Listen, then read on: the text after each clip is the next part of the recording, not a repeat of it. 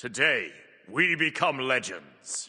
So I've talked about what I want to see from Smite 2 a bit already, but that was before the official reveal, and we now know a lot more about what the game is trying to be, and even have quite a bit of official info on how things are going to work. So I thought I'd compile all my thoughts on what I want to see from Smite 2 into one video. Let's jump in. So first up, I really want to see better creation tools, spectator tools, custom game tools, all that kind of stuff. Smite 1 is extremely lacking in all these regards and as a creator that makes highly edited videos on a regular basis, I have to do really janky workarounds to test things, get b-roll footage for videos, all that kind of stuff. Jungle practice is a lot better and more in-depth than it used to be, but I think having the ability to spawn any god rather than just a selection of 5, the ability to give that god a build, having free cam and one button to remove your entire HUD for capturing more cinematic and clean footage or screenshots. A target dummy that calculates and shows your DPS above its head would be super useful for theory crafting and showcasing builds. I know there are some things they can't let us do in jungle practice like spawn bosses and whatnot because of server stability issues, but I feel there's so much more that could be done in terms of testing, content creation, spectator and custom games in Smite 2,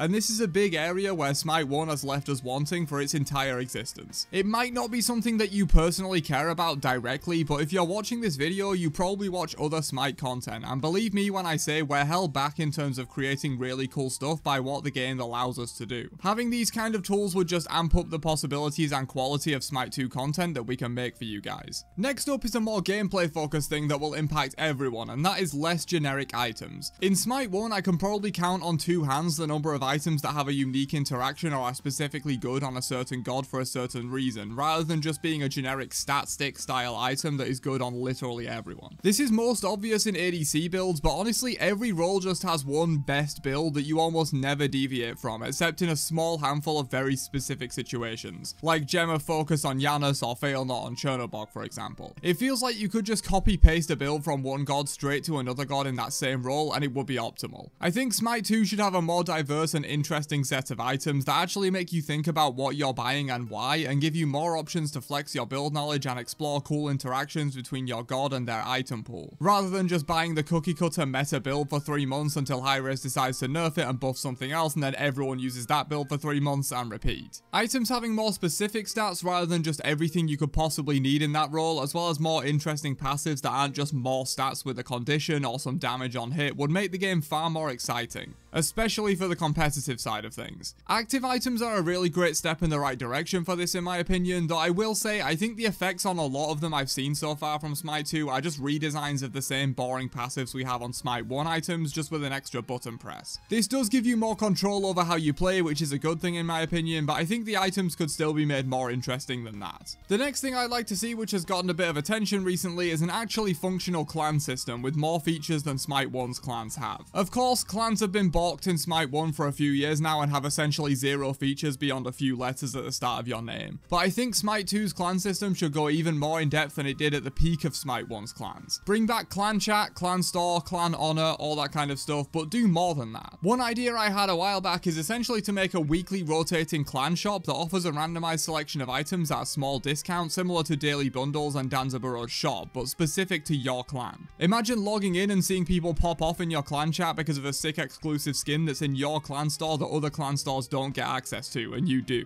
There might need to be some sort of safeguard built into this to stop people just clan hopping to exploit the deals, like maybe you can only buy from the store of the clan you were in when the weekly reset happens, or maybe make it so you have to be in a clan for a minimum of a week to access their clan shop, but I think that would be a really neat idea to bring a bigger community aspect to clans. Maybe you could also have clan goals that you work towards, be that quests or a pool of clan points that the members work towards, and once you reach that goal, the whole clan gets something cool, like a skin with their clan icon on it, similar to the esports t-shirt skins, or bronze, silver, gold, platinum, diamond, and masters colors for your clan tag, a special border around your profile icon if it's being used as your clan icon. I don't know, I'm kind of just spitballing ideas here, but I think there's a lot more that could be done with clans, and while Hi-Rez don't seem to be that interested in doing anything with them because they don't make money, I think it's an important aspect of the game that brings a community feel, and I think Smite 2 clans should absolutely be a thing, and should be bigger and better than Smite 1's clans ever were. Next up, and this might piss a few people off, I want to see the god pool expanded to cover more folklore, legends, stories, and even modern creations of fiction. I love mythological gods and pantheons as much as the next guy, it's one of the major things that got me into Smite in the first place. But I think some of the coolest additions to Smite have actually been the more out of the box ones, like the entire Arthurian pantheon, Cthulhu, Gilgamesh, etc. I understand why the team are hesitant to go too crazy on this kind of stuff, as a lot of people push back when an obscure creature is added that isn't really a mythological god, but I think it would be genuinely cool if we got stuff like the Loch Ness Monster, Godzilla, more Lovecraftian beings, hell, even SCPs. Okay, maybe SCPs is a little bit too far, but I think Smite 2 is the perfect time to try and push the envelope a bit in terms of what fits into Smite as a quote god. Other MOBAs like League don't have this same limitation, I think it leads to some of the most interesting designs when the team is allowed full creative freedom on what they want to add, rather than being shoehorned into adding something they aren't really that passionate about. Speaking of League though, I'll quickly mention that Smite 2 needs a lore reset in my opinion. Even as someone who loosely follows Smite 1 lore and has made several videos about it, it's convoluted, uninteresting, and most of the time comes in the form of giant walls of text that are about as engaging as watching paint dry. I'm not saying we should get Smite's version of Arcane because frankly, I highly doubt Hi-Rez has even one tenth of the funding they'd need to make something so ambitious, and if they tried to, it would probably just turn out cringy and terrible and have a negative impact on the Smite IP. But we're seeing more and more that video games are becoming a part of the wider media ecosystem, and when done right, it adds so much to the world building and community aspect of games like League when other forms of media are explored. Sure, they probably can't make a nearly flawless animated show that made me care about League characters when I never gave a shit about them before, but they could at least do animated shorts to go alongside the lore, or maybe even hire a small team of professional writers to make these lore segments more engaging and interesting. As it is currently in Smite 1, the lore feels like fanfiction written by a 16 year old in their bedroom after school. I don't mean to go too hard on whoever writes the lore for Smite 1, but goddamn is it painful to read. Again, this is another thing that, especially if they didn't go whole hog with it and make an actual show, would only lose money for Hi-Rez, so I don't really expect any of this, but I would love to see it nonetheless. Next up, bigger and better adventure modes and possibly even a permanent PvE story mode or dungeon mode. Smite is a pretty casual game all things considered. Only 5% of players have ever played even one ranked game, never mind grinding dozens to climb to the top. The game mode where all you do is mindlessly fight in a giant circle is just as popular as the competitive in-depth mode where you can truly showcase your skills and be the best. Smite 2 could change that, but honestly I don't think it will and maybe don't think it should. Being a casual funfest is as much a part of Smite's identity as the gods are at this point, so why not fully embrace it and add a truly interesting PvE experience or at least more adventure modes. Again, and I feel like a broken record here, I know these don't make money, but does that have to be the case? If more effort was put into a true PvE experience that was available 24-7, then I'm more okay with that being monetized. Sell dedicated cosmetics for it, hell, even sell power if you want to. That might be a hot take, but if the PvE experience was solely co-op or single player, I genuinely don't mind them monetizing power in small ways. There's a fine line to walk there as literally letting people buy more damage on their abilities or more health with real money would hurt rather than help as it makes the game less fun. Why would you grind and get better when you could just spend $10? But if there was, for example, some sort of progression system built into, for example, a roguelike dungeon mode, I genuinely wouldn't mind them allowing you to pay for progress on like God's skill trees or talents or whatever a little faster. I don't know, I'm going kind of hog wild here, but I feel like they should really embrace Smite's casual atmosphere and add a permanent PvE mode where you can experience Smite's awesome combat and gods in a more chilled out setting. And if not that, then at the very least bring back some cool adventure modes and learn from which ones were successful in Smite 1. So I'll just quickly mention this as we've already seen it in a small way in some of the reveal trailers and deep dives, but I really want to see new things brought to God kits and improvements made, as well as some full or partial reworks to existing problematic characters from Smite 1. Some gods I think are completely fine and don't really need changes. Some just need something small to make them feel fresh and different, for example Ymir's wall knockback change that we've already seen, and others need more significant redesigns of their kit such as Baka, Chang'e, Kronos, Nuwa, and others, while some just straight up need a new kit entirely in my opinion, as they have never worked well in Smite 1, such as Arachne, Freya, and Bastet. Which characters need exactly what is something for an entirely different video and or probably smarter people than me that actually work on the game, but I think Smite 2 is the perfect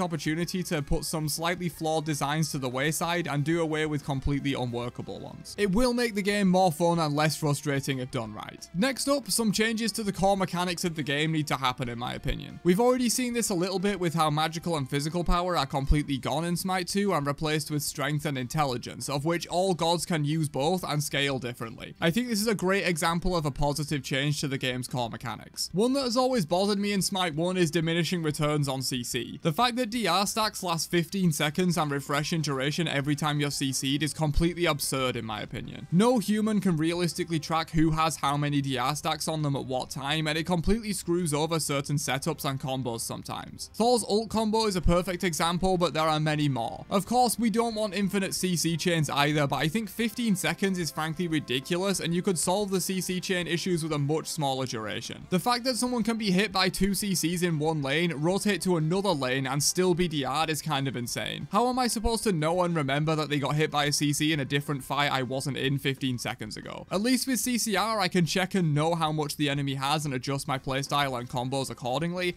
DR takes away basically all player agency and it just feels bad to play against. It should be significantly reworked in Smite 2 in my opinion, along with some other core mechanics changes like the distribution of mobility and CC immunity, the balance of farming versus fighting and laning, snowball, a bunch of other stuff. But that's most of the major things I want to see in Smite 2 for it to be the best sequel it can be. Be sure to let me know your own personal thoughts down below on what you want to see in the new game, and I'll catch you guys in another one later on. Have a great day, and peace out, you nerds.